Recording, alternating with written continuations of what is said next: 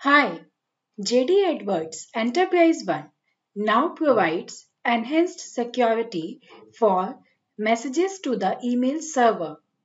Prior to Tools Release 23, JD Edwards Enterprise One did not support the ability to send messages with a defined authenticated user or using certificate encryption protocols through SMTP servers. Without these measures, customers often had unnecessary architecture extensions which potentially resulted in security threats and compliance issues. With the enhanced email communication capabilities in Tools Release 23, you can now ensure secured email communication with an authenticated SMTP user and the support of TLS version 1.2 for mail notification.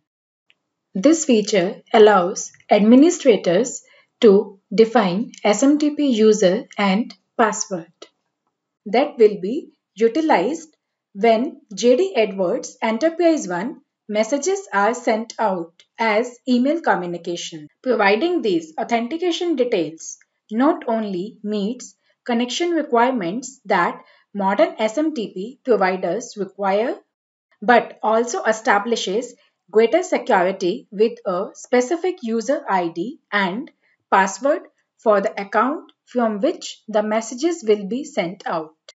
Additionally, JD Edwards Enterprise One now provides options to configure TLS for all email mechanisms, including the OCI's email services. TLS supports notification frameworks like SMC notifications, workflow notifications, embedded BIP notifications, orchestration notifications, OET app site, and so on. To learn more, visit us online at learnjde.com. Thanks for watching.